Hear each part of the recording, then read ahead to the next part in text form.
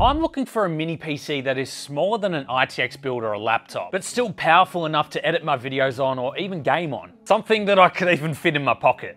We came across this, the Khadas Mind. At its core is it a portable workstation, but I decided to go with this due to the portable modular design. This can link with Khadas Mind peripherals seamlessly, which can fulfill different usage needs as required. I'll explain a bit more on that later. Now this particular unit is a prototype from Kickstarter, but I really needed a unit as soon as possible because we have packs coming up next month. Unboxing the Khadas Mind, you can expect to receive the Mind, the power adapter, manual, and warranty card. We also have the Mind dock package package, which comes with the Mind dock, manual, and warranty card. The Mind feels robust and resilient. It should withstand travel and daily handling. I mean, it looks super clean and compact. The Mind comes in at 146 millimeters in length, 105 millimeters in width, and 20 millimeters in height. It also weighs in at 0.43 kilograms. Now, when actually weighing this, I found out that it was magnetic because it's stuck to the base of the scales. So if you really wanted to, you could actually mount this to anything with a metal surface, under a metal desk, on a metal wall, even on the fridge if you wanted to. That way you can keep it out of sight if that's what you prefer. Spec-wise, we are looking at an Intel Core i7 1360p, 12-core, 16-thread processor. That's four performance cores and eight efficiency cores. It has built-in Intel Iris Xe graphics, 32 gigabytes of LP DDR5 memory, and this is running at 5200 megahertz. We also have one included Gen 4 NVMe drive at one terabyte capacities, and an empty Gen 3 NVMe slot if you like to expand further. The Mind also has built-in Wi-Fi 6E connectivity. Speaking of specs, I did make mention of Mind peripherals. Coming out soon will be Mind Graphics, which will also support Thunderbolt for other devices, and it is the equivalent of a 4060 Ti graphics card. Mind Studio will be for extreme visual experiences, Mind X-Play for outdoor scenarios, and Mind Talk for meetings. Taking a look at the exterior, we have two USB Type-C ports, which can actually run display. We have a HDMI port, and two USB 3.2 Gen 2 ports. And on the bottom of the Mind, they have something called the Mind Link. Now this is how the Mind will connect to any of our Mind peripherals. And on the front, all we have is the power button with a built-in LED indicator. Now connecting to the Mind dock gives us so much more USB ports, more HDMI connectivity, which now supports four 4K 60Hz monitors simultaneously, and 2.5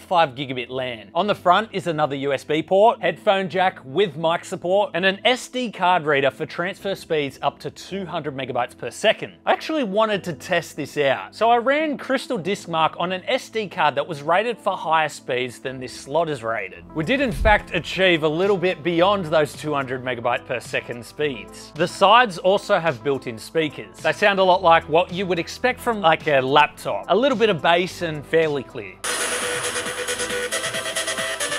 On the top, we have our volume dial, and we also have our fingerprint recognition sensor. Now, firing up this device, it does come pre-installed with Windows 11 Home. But something really fascinating about this device, you could be in the middle of work and you need to leave and go elsewhere. You can take the Mind with you, still turned on thanks to its built-in standby battery. The PC will be able to be in standby mode for up to five hours. It could sleep for up to 25 hours and up to 48 hours in hibernate mode. The Mind can be plugged back in so you can continue on where you left off without having to load everything back up. Now browsing the internet, the PC felt very responsive and snappy. Actions were instantaneous, and I felt like it made for a good browsing experience. 4K 60 FPS playback was handled with a breeze. There was no frame drop, screen tearing, and it was stutter free for a good viewing experience. As I mentioned before, we have a Gen 4 1TB NVMe drive installed. I also benchmarked this in Crystal Disk Mark, and I was pleasantly surprised to see both the read and write speeds up around that 5,000 megabytes per second read and write speeds. TimeSpy was our first benchmark for some decent performance, even stating that it could play Battlefield 5 1080p ultra settings at 45 plus plus FPS. Night Raid is another benchmark that is specifically built for integrated graphics. Again, it scored well, but this time it thought Battlefield 5 would achieve around 35 plus FPS 1080p ultra settings. Cinebench R23 10 minute run. We achieved 9,295 points, which puts this CPU roughly 400 points above AMD's Ryzen 7 1700X CPU. On to gaming now, and it is quite obvious that integrated graphics is not known for a good gaming experience, so I'm not expecting expecting anything spectacular. Games like CSGO or Rocket League, games that are more CPU intensive, run on the mind with no issues at all. On average, 1080p, I was getting around 80 to 100 FPS in Rocket League. It was a very consistent, smooth gameplay experience. We did experience the odd FPS drop into the 70s. We even had our FPS highs in the hundreds. But overall, it was a consistent gaming experience. Games like Cyberpunk or PUBG are more GPU dependent. PUBG 1080p low settings was certainly more playable than Cyberpunk 2077. We were seeing anywhere from 30 to 45 FPS, and personally I'd like to hit that minimum 60 FPS threshold. It definitely felt choppy and wasn't the most pleasant experience. Cyberpunk 2077 was even worse as it is so demanding. 1080p low settings, we were averaging around 23 FPS.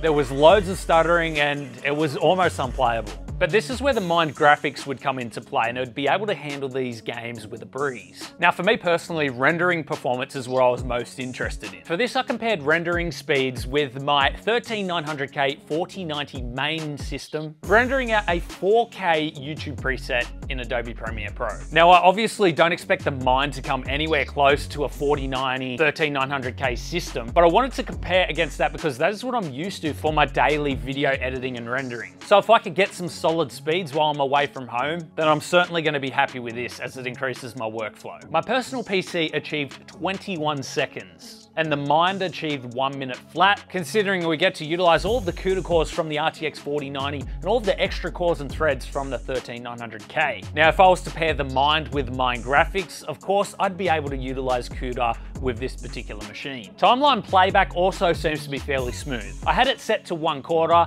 but of course, as you start adding effects, that is when the project will start slowing down. But for exhibitions like I'll be using it for, we're just doing basic editing. Now, while running each and every test on this machine, I actually had hardware info running in the background. Hardware info allows us to view different information about all of our hardware, including voltages, temperatures, and power draw. Our Khadas Mind ended up drawing around 30.5 watts on the CPU package. This is a little over the 28 watt rating, but the boost is rated for 64 watts. So it's certainly within margin of error. Our CPU spiked up to 89 degrees maximum. This likely would have happened during our synthetic benchmarks, such as Cinebench, as these are designed to push the hardware to its maximum. During gameplay, our tests on screen were actually showing between 54 and 57 degrees Celsius.